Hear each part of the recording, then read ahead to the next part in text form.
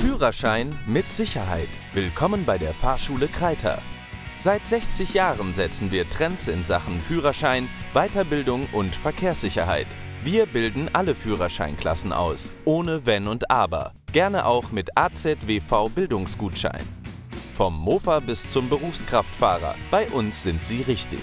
Profitieren auch Sie von unserem hauseigenen Verkehrsübungspark auf 12.000 Quadratmetern geschützter Trainingsfläche.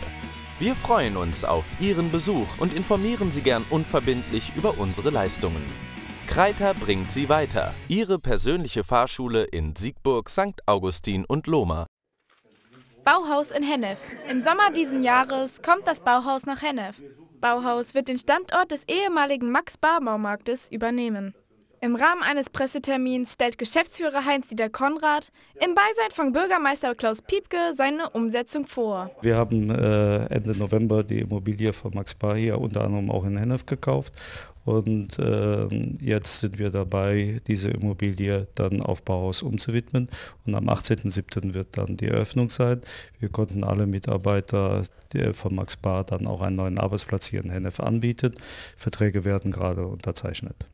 Die Verkaufsfläche von 11.000 Quadratmeter wird dem Bauhausstandard nach renoviert.